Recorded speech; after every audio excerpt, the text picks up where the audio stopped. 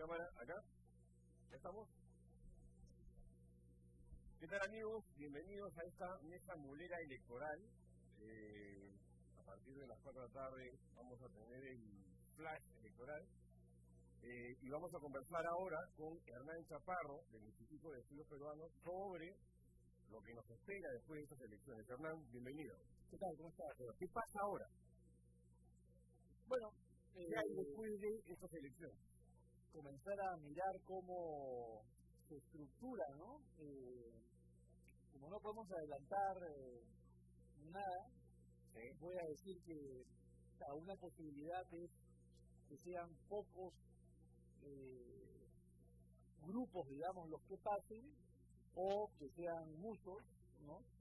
Eh, y si obviamente el tema es más fragmentado, eso habrá que ver cómo se reparten los curules, porque, eh, a ver, o, o, está todo muy distribuido, o, digamos, hay dos o tres o tres que nuclean y eso va a marcar la dinámica, ¿no? De todas maneras, Popular va a jugar un rol importante desde, por, lo, por lo que han proyectado las, las, las encuestas hasta que se podían propalar. Sí. ¿No? Sí, sí, sí. No sé si podemos hablar de partidos, ¿no? pero sí. Acción Popular ha, liderado, digamos, este, las encuestas desde un principio hasta que se prohibieron. Ahora, ahora que estamos hablando de la prohibición, ¿no es una estupidez mantener esta censura, este veto a la gente que, por ejemplo, tú conoces las últimas encuestas, yo las conozco. Acá y ha circulado por todos lados. La gente, el resto de la gente no. Bueno, es decir una cosa, yo creo que como depende, pero, pero, pero el tema está en que sí, sí, mira, bueno, ahora, la propuesta de la Comisión Tuesta era eh, prohibirlas en hasta un día antes, ¿ya? ¿no? Eh, un día por 10 horas. Eh, hay países donde, bueno, eh, ahora en Eslovaquia hay todo un lío porque eh, estaban queriendo prohibirlas, ya se prohibió dos semanas, quieren adelantarlas 50 días. Hay regímenes que se les da por creer que eso ganas de la transparencia, el voto informal. Y para qué se puede informar. Posición, ¿no? La gente, además, mira, es peor porque no solamente circulan las que pueden tener credibilidad, sino que también circulan las que no tienen ninguna credibilidad y, y son más, pero están ahí circulando. Entonces es mejor ser algo transparente, que se pueda ver y la gente tomará sus decisiones, ¿no? O sea, ¿Cómo crees tú que va a ser la relación del próximo Congreso con el Ejecutivo? Yo creo que es una, eh, eh, una relación de, de fiscalización eh, y a la vez de demostración de capacidad ejecutiva, diría yo. ¿Por qué? Porque por un lado están ya en campaña, o sea, eso se instala en marzo, eh, ya va a haber primarias, ¿no? no sé qué fecha exactamente este año, pero este año va a haber primarias de partidos. Eh, en julio el presidente no tiene que ya anunciar que tiene el proceso electoral del 21.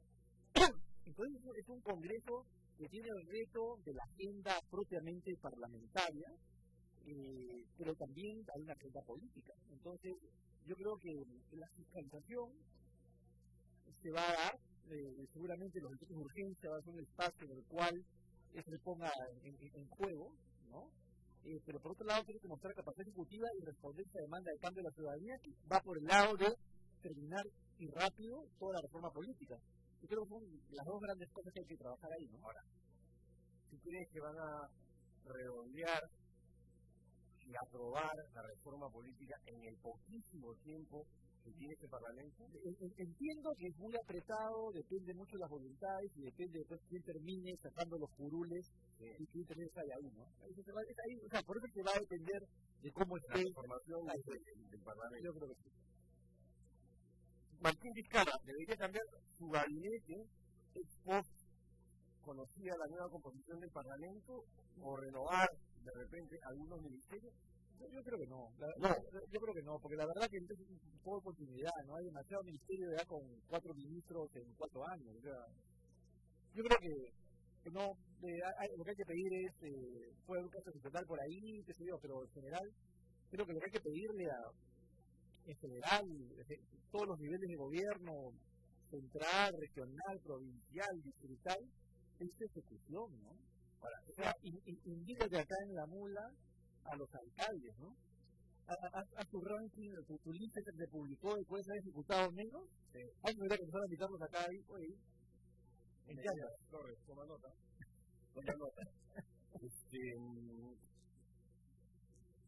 ahora, sea cual fuese la conformación del próximo Parlamento, ¿cuáles deberían ser las prioridades de esto? A ver, reforma política. Reforma política de todas maneras. Para de arranque. Así es. Y me parece que los tiempos eh, me da la impresión de, de, poder revisar los decretos de urgencia. Uno que tienen que hacer. Eh, me parece que hay algunos que son más polémicos que otros. Eh, porque ya había decisiones, o sea, hay algunos me parece que ya había decisiones tomadas, entonces el, el, el, Ejecutivo se ha mandado a dos decretos sobre temas que ya estaba prácticamente en la última parte del proceso de votación en el Congreso, entonces hay que revisarlo y, yo creo que va por ahí, ¿no? Ahora, una, una cosa machacona por parte de varios de los candidatos al Parlamento que han pasado por aquí por la mula, han insistido en el que el tema de la elección de los magistrados del Tribunal Constitucional también debería ser un tema prioritario, básico, fundamental. Pero, ver qué cosa, ya, ya se eligieron, el tema de, de cómo, cómo el, el, sistema de elección. Perdón, yo quiero decir ¿Del PC? Del PC. Del PC. No sé por la justicia, pero yo estaba, yo, yo. El, lo del PC, sí, probablemente es una también otro tema, pero no creo que sea lo primero que aborden, porque ahí va a haber mucha polémica, ¿no? Y, y eventualmente la verdad que no creo que se va a caer una dinámica de repartistas como fue en algún momento, ¿no? Eh, hay que renovar a seis, y yo creo que tiene que buscar toda la discusión que ha habido es, oye, tenemos que empujar eh, eh, para hacer política por unos estos consensos de bien común general, más que de izquierda, derecha, arriba, abajo. Entonces, eh, los miembros del TC, siendo tan importante, de verdad debería seguir ya una dinámica de esto que esperamos de esta nueva, eh, no sé generación, pero esta nueva camada de políticos que comienzan a entrar al Congreso. Claramente si algo va a marcar eh, en la historia, estas elecciones, que algunos han tratado de basurearlas, pues se están marcando el, el fin de algunas cosas y el lento y conflictuado seguramente inicio de, de otros movimientos. Ahora, sobre ese basureo que tú refieres, o ninguneo, ¿a cuánto crees tú que puede ascender el blanco nulo o blanco? El voto, el voto nulo blanco. Sí, a ver, mira, yo, bueno, de los 40, que fue la última cifra que se dio, yo estimaba, eh, bueno, fue lo que se publicó, ¿no? Eh, no, yo estimo, mira, estimaba yo alrededor de un tercio, más o menos un poquito más, pero me da la impresión de que menos, ¿no? ¿A tu crees menos de 30? Sí, está bien. Sí, sí. ¿Y ausentismo? Es más complicado. El, el, el, histórico ha sido 20%, con muchas diferencias regionales, este, pero hay mucha diferencia por provincia, ¿cierto? Eh, pero eso es más o menos un poco lo que hay. Ahora, la pregunta es, eh, escuchaba justamente a una persona de OMPE en la mañana, y claro, no por gusto las elecciones suelen ser entre abril y octubre, que evita la lluvia en sierra. Entonces, esta votación, por la particularidad que en época de lluvia, lamentablemente falleció un chofer de un equipo de trabajo en OMPE en la mañana, entonces sido esto ayer, por las lluvias. Entonces, eso habrá que ver en algunas zonas cómo, cómo afecta. ¿no? Ahora, a ojo de buen cubero, este congreso que viene y de corta duración, ¿será mejor, peor, igual que el anterior? Mm, mira, tendrá sus problemas, pero yo creo que peor que el anterior no va a haber. No, porque además, eh, yo creo que, que, que, que, es insuperable. No, sí, no, varios, varios, varios. No, pero, eh, eh, si tuviese que hacer un, un ranking yo creo que encabezaría el ranking de congresista más impresentable que hemos tenido, ¿no? En estilo y forma, ¿no? Claro. Y, y está ahí, pues, porque mira, el otro día, claro, eh, se alude, ¿no? La estadística dice que, este Congreso eh, no fue obstruccionista porque aprobaron, pero quién sabe la palabra no sea obstruccionismo si quieres, pero modo cuando se ha estado hablando eh, eh, en toda esta coyuntura del obstruccionismo, creo que no solamente es un tema cuantitativo, sino hay un tema más cualitativo que quieres de estilos y formas, en, cómo tan, tan este, la ¿no? Una falta de respeto absoluta, ¿no es cierto? Y además, eh, puede que no hayan sido muchos, comparativamente hablando, los temas sobre los cuales hubo obstrucción, pero han sido cualitativamente muy importantes. O sea, solamente pongo de Charlie y Nestroso, y eso ya eh, es este, uno multiplicado por 15, ¿no? Entonces, este, qué sé yo, entonces no, no, yo creo que no se puede establecer tan alegremente que no fueron oficialistas porque el numerito de producción legislativa indica otra cosa. ¿no? Ahora, eh, otra vez, de nuevo, según las últimas encuestas que hemos conocido y desde que comenzaron a, proyectar estas, dos movimientos han estado ahí. Acción Popular es uno y APP es el otro. De cara a la elección en 2021, para la vuelta de esquina, ya podríamos suponer que Acuña va a ser uno de los candidatos importantes, Raúl de Canseco de Acción Popular, el otro, y Salvador del Solar. No sé, si alguien, alguien le, da cabida. Ah, pero eh, yo por eso te digo que eh, la performance en este año y medio, esos congresistas y los líderes políticos comienzan a aparecer como presidenciales, eh, va a ser muy importante porque hay, a pesar de que la expectativa inicial eh, disminuyó, una vez que estén en, estos, una vez que estén en las bancadas, yo creo que eso va a retomar. O sea, de alguna manera, una vez instalado el Congreso, va a volver a haber un segundo ciclo, digamos, de, de incremento de expectativas, pero además, esos congresistas, esos partidos que ya están en vitrina, aprovecharán la oportunidad porque eso es parte de la campaña del 21. Entonces, eh, va a haber mucho foco ahí, o cierto nivel de foco ahí, y bueno, van a tener que... ¿A quiénes ves tú en el partidor para el 2021 con posibilidades? Bueno, eh, yo creo que claramente, bueno, Acción Popular, los que están, Acción Popular, APP, los morados, eh, la izquierda, yo creo que... la izquierda? Bueno, es que yo creo que va a haber bastante discusión sobre esa división este, y seguramente discusión. A Verónica Mendoza por un lado, a los más radicales por otro, ¿no? Y a Marisa Aguilar, que está ahora en un movimiento. Pero de nuevo, ¿no? Cuando se vean los resultados, quién sabe, eh, verán que, que a un nivel de transacción tendrán que hacer porque les va a ir mucho mejor si están juntitos y separados. Ahora, su opinión respecto a esta decisión del Jurado Nacional de Elecciones de que de perdonar la vida a aquellos partidos que no van a pasar la vaina. Sí, van a mantener su sí, sí, sí, sí. En el momento de una criba, en el momento del filtro. A mí, a mí, mira, hay para mí dos cosas. Eh, una, que hay toda la interpretación, que dicen que, que, solamente aplica para generales, y estos son especiales, extraordinarios, es un tema más que discutible, pero lo que me peor es toda esta cuestión que es todo un estilo que tendrá un sentido jurídico, pero la verdad me parece que no, no ayuda. O sea, el jurado debería ayudar a ver la cancha. No puede ser que tenga en esta situación y en otros esta cuestión de decir, no, cuando ocurra, opinaremos. Lo se debe que justamente ordenes, ¿no? Y, y, no tener esta explicación. O sea, la verdad que también podrá ser muy legal, pero creo que eso les hace perder cierto nivel de confianza en, en, este tema de decisiones, ¿no? Porque opinión sobre lo mejor y lo peor de esta, de esta selección en cuanto al proceso, la campaña, lo que tú quieras. A ver, eh, creo que lo, lo, mejor es hecho.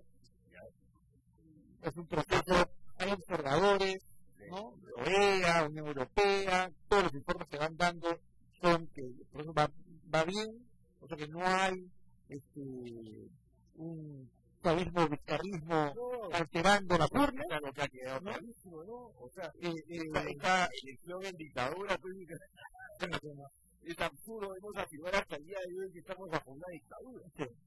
Este, yo creo que es importante que se abre, o sea, yo creo que es un hito donde hay partidos que, digamos, van a tener que eh, evaluar si quieren seguir vigentes o no, porque va a marcar claramente un hito, o sea, eh, y está abriendo la puerta a nuevos movimientos, incluso movimientos que están fuera de este Congreso, pero que va a generar todo un clima de renovación, que como te decía, en un momento con mil problemas, pero que los cambios de la política no son pues, este, sardinas rosas, ni la política es, este, una celebración de todos los queremos. Ya, perfecto. En ese ambiente hay un primer cambio que creo que es importante. Mejor es para ti y que hay una transición que está sobre la mesa. ¿no? Y, lo peor. Y, y, lo peor, creo que, quién sabe las campañas de algunos, ¿no? Que han sido... No, refieres a la de solidaridad nacional. Bueno, bueno eso es, es, es, yo, no sé, pero, o sea, los, los otros hay, digamos, el texto, pero en solidaridad nacional ha sido sistemático. No, es una cosa que sí me parece muy importante, esto lo digo de lo que hago encuestas, y es que hay una serie de políticos que han ido apareciendo en medios, como siempre, hablando pestes de las encuestadoras, ¿no? Este, y diciendo, yo tengo mi encuesta, donde salgo muy bien, ¿no? Entonces, ahora, ni siquiera ahora, a las cuatro, pero además durante la semana van a ver sus resultados, ¿no? Entonces, que almuercen.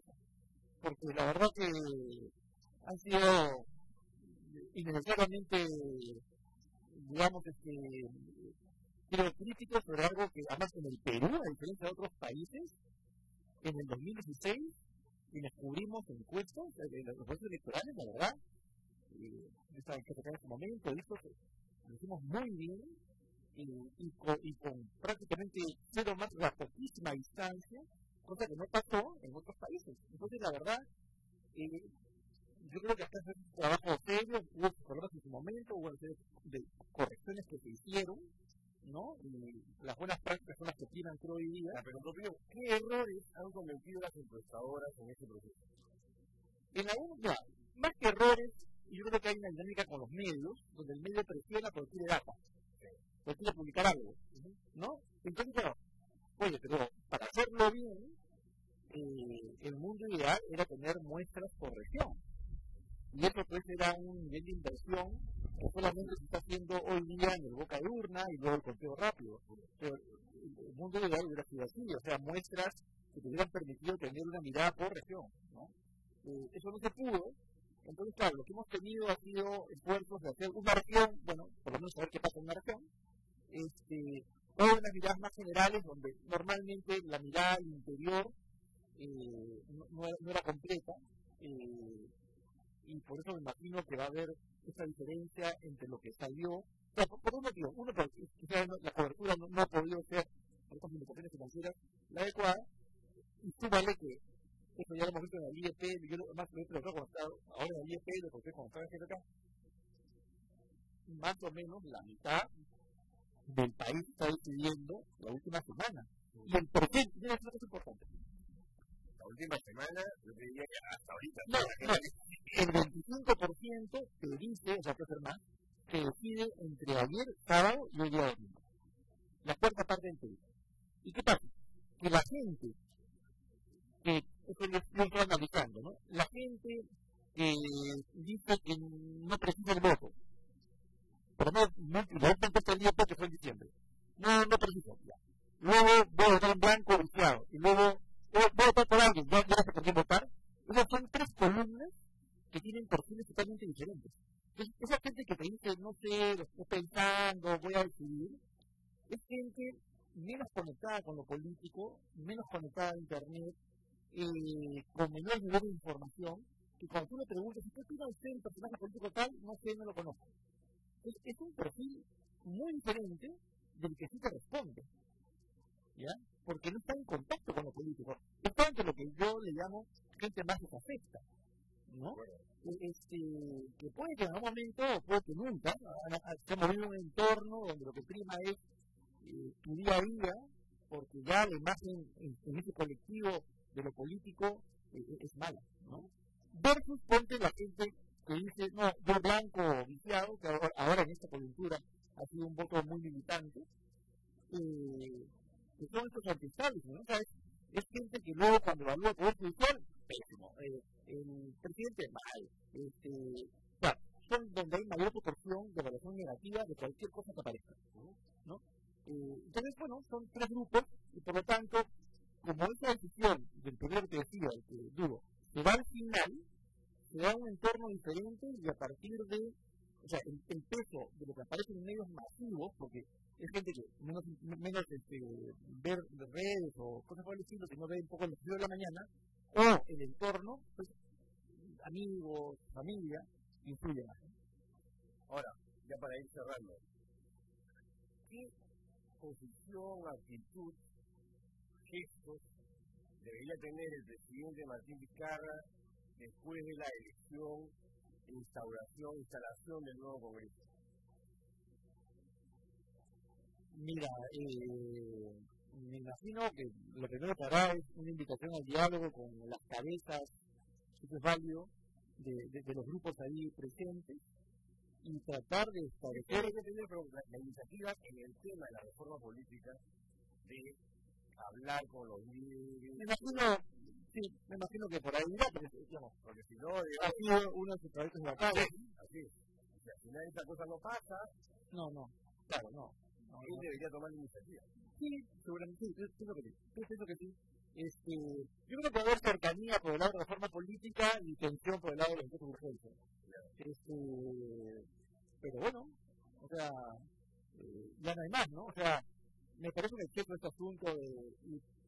Plantearemos cuestiones de confianza ante los decretos de urgencia, algo, algo más, ¿no?